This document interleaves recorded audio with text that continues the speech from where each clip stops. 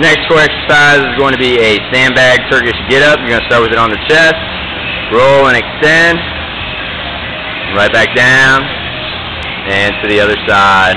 So that would be one and one. Do this for six to eight reps. Sandbag weight, anywhere from, I don't know, 20 to 50 pounds. Use a dumbbell with one arm too.